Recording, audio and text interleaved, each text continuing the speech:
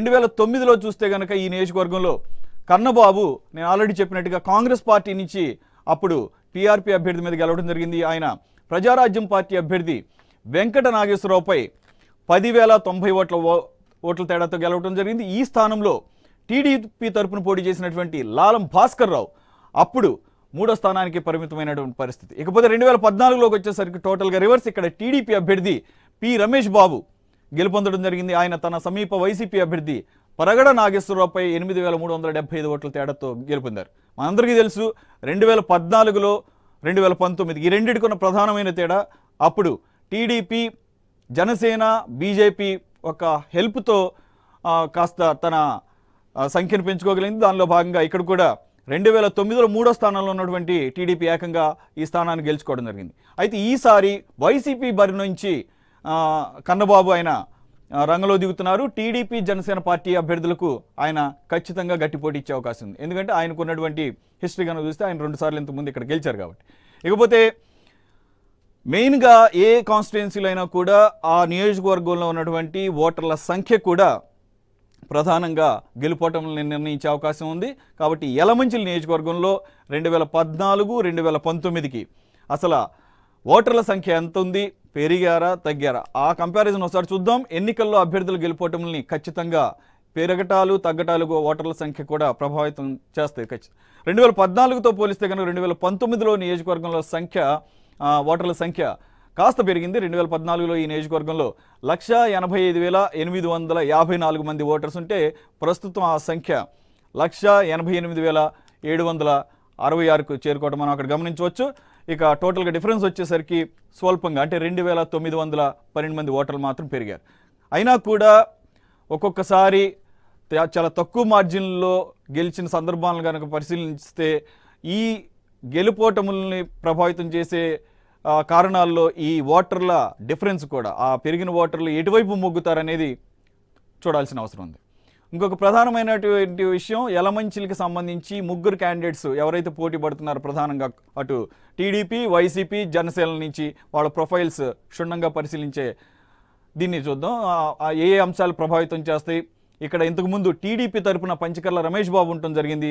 ఆయన డాక్టర్గా అలాగే రమేష్ హాస్పిటల్స్ అధినేతగా కూడా ఆయనకు మంచి పేరుంది. సిట్టింగ్ ఎమ్మెల్యే అయినటువంటి పంచకర్లకు ఆయన చేసినటువంటి అభివృద్ధి కార్యక్రమాలే ప్లస్ అవుట్ అనటంలో ఎటువంటి సందేహం లేదు. నియోజకవర్గంలో ప్రజలకు ఎప్పుడు కూడా అందుబాటులో ఉంటారనే పేరు కూడా ఉంది. ఇది చాలా ఇంపార్టెంట్ ఆస్పెక్ట్ ఆయనకి. ఇకపోతే త్రిముఖ పోటీలో ఈయన ఈసారి అలాగే నా జనసేన కూడా పోటీ పడుతుంది కాబట్టి దాన్ని అధిగమించి ఆయన ముందుకు రావాల్సిన అవసరం కనబడుతుంది. అయితే జనసేన బరిలోకి దిగడంతో ఖచ్చితంగా కాపు ఓటు బ్యాంకు ఎటువైపు మొగ్గుతుంది అనేది ఇక్కడ కీలకమైన అంశం. రెండు వేల పద్నాలుగులో అటు జనసేన బేషరతుగా మద్దతు ఇవ్వడంతో కాపు సామాజిక వర్గం జనరల్గానే జనసేన వైపు ఉంటుంది. అందరూ ఉండకపోయినా కూడా కొంత అటువైపు మొగ్గే అవకాశం ఉందని చెప్పేసి ఖచ్చితంగా అంచనాలు ఈసారి ఎటువైపు మొగ్గుతారు అనేది ఇక్కడ ఒక సస్పెన్స్గా మారింది. ఇక వైసీపీ అభ్యర్థి కన్నబాబు ప్రొఫైల్కి చూ చూస్తే కనుక రెండుసార్లు ఈయన ఎమ్మెల్యేగా గెలిచినటువంటి ఆయన క్రెడిట్ ఉంది ఆయనకి. కన్నబాబుకి అంగబలం అర్ధబలమే కాదు. ఎలా గెలవాలో కూడా బాగా తెలిసినటువంటి రాజకీయ వ్యూహకర్తగా కూడా ఈ కాన్స్టిట్యున్సీలో ఆయనకు పేరుంది. ఇకపోతే ఆయన్ని అందుకోసమే ఏరి కోరి జగన్ తన పార్టీలో చే చేర్చుకుని టికెట్ కన్ఫర్మ్ చేశారని కూడా వినపడుతుంది. మొత్తానికి వైసీపీ మాజీ ఎమ్మెల్యే కన్నబాబు ఐ మీన్ వైసీపీకి చెందినటువంటి కన్నబాబు మాజీ ఎమ్మెల్యేగా ఉన్నారు. ఆయన రెండు వేల నాలుగు రెండు వేల తొమ్మిదిలో వైఎస్ హయాంలో ఎమ్మెల్యేగా గెలుపొందినటువంటి హిస్టరీ ఆయనకుంది.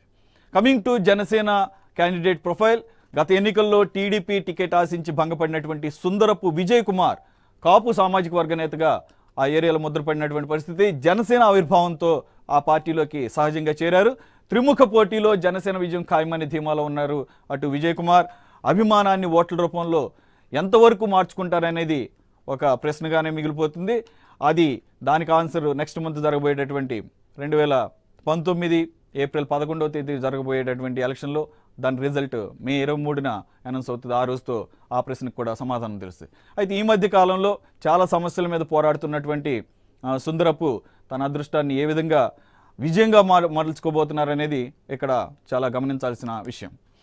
ఇకపోతే పార్టీ వైజ్గా యలమంచిలి నియోజకవర్గంలో పాజిటివ్స్ అండ్ నెగిటివ్స్ చూద్దాం. Coming to TDP party. Yelamanchili నియోజకవర్గంలో మూడు ప్రధాన పార్టీల సానుకూల ప్రతికూల అంశాలు తెలుసుకునే ప్రయత్నం చేద్దాం. యలమంచిల నియోజకవర్గంలో Telugu Desam party positives and negatives కనుక చూస్తే ఇక్కడ టీడీపీ తరపున ఆల్రెడీ మనం చెప్పుకున్నట్టు పంచకర్ల రమేష్ బాబు ఉండటం ఆయన సిట్టింగ్ ఎమ్మెల్యేగా ఉండటం కూడా అలాగే ఆయన పంచ్ టీడీపీ తరపున పంచకర్లు చేసినటువంటి అభివృద్ధి కార్యక్రమాలే ఆయన తనకు శ్రీరామ రక్ష అవుతాయని చెప్పి కాన్ఫిడెన్స్తో ఉన్నారు. అలాగే ఎమ్మెల్యే అనుచరుల దందాలు మైనింగ్ మాఫియా ఇక్కడ ఆయనకి పెద్ద మైనస్గా మారాయి. ఆయన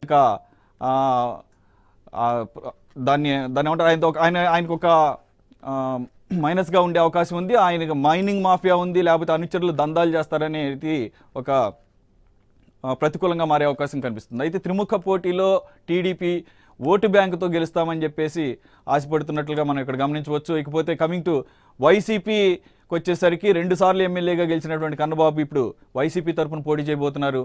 అలాగే ఆయనకు అంగబలం అర్ధబలమే కాదు రాజకీయాల్లో అప్పటికప్పుడు ఎటువంటి వ్యూహాలు రచించాలి అనే దాని మీద ఒక మంచి పట్టున్న నేతగా ఆయనకు పేరుంది. కాబట్టి అందుగురించే జగన్ ఆయన్ని ఏరికోరి ఆయన్ని పిలిపించుకొని పార్టీలో జాయిన్ చేసుకున్నారు. అందుకని ఆయనకి టికెట్ కూడా ఇచ్చారని చెప్పేసి వినపడుతుంది. మొత్తానికి అతని అభ్యర్థిత్వాన్ని వైసీపీలో వ్యతిరేకించిన వారు కూడా రాజీనామా చేయడం ఇక్కడ కొంత మైనస్గా చెప్పుకోవచ్చు. రెండు వేల పద్నాలుగులో వైసీపీ తరపున పోటీ చేసినటువంటి ప్రగడ నాగేశ్వరరావు మునగపాక మండల నేత బొడ్డేడ ప్రసాదులు పార్టీని వీడి వెళ్ళిపోవడం జరిగింది కన్నబాబుని చేర్చుకోవడంతో. మొత్తానికి కన్నబాబు గెలుపుపై ఈ ఎవరైతే వెళ్ళిపోయారో కొంతమంది ఆయన రాకని నిరసిస్తూ వారి ప్రభావం పడే అవకాశం కనిపిస్తుంది. Coming to Janasena party. Janasena party positives and negatives చూద్దాం.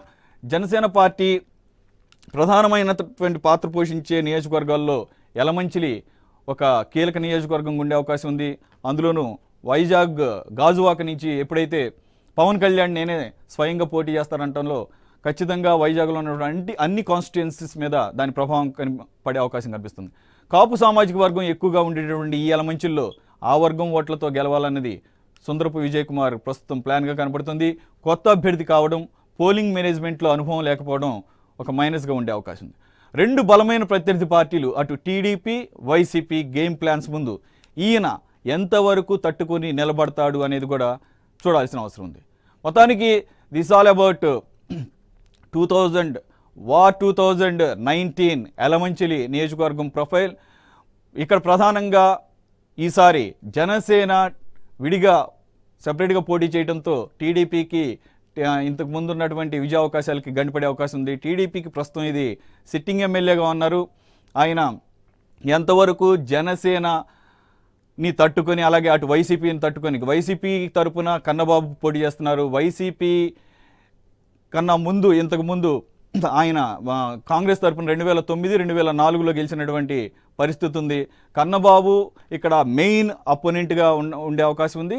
అయితే జనసేన మొదటిసారి రెండు వేల పద్నాలుగు తర్వాత ఈ రెండు వేల పంతొమ్మిదికి మేము విడిగా పోటీ చేస్తామని చెప్పేసి టీడీపీకి వైసీపీకి దూరంగా ఉంటూ పోటీ చేస్తుంది కాబట్టి ఈసారి ఎవరి ఓట్లు చీలుస్తారు? ఇక్కడ కాపు సామాజిక వర్గం యొక్క బలం ఎక్కువగా ఉన్నటువంటి కాన్స్టిట్యున్సీ కాబట్టి సహజంగానే జనసేనకి కాపు సామాజిక వర్గం నుంచి మద్దతు లభిస్తుంది. కాపు సామాజిక వర్గం నుంచి ఓట్లు ఎక్కువ పడతాయి అన్న పరిస్థితుల్లో గతంలో అదే కాపు సామాజిక వర్గం ఓట్లు జనసేన రూపంలో సంపాదించినటువంటి టీడీపీ అభ్యర్థి ఈసారి దాన్ని తట్టుకుని ఎంతవరకు ముందుకెళ్తాడని చూడాల్సిన అవసరం ఉంది.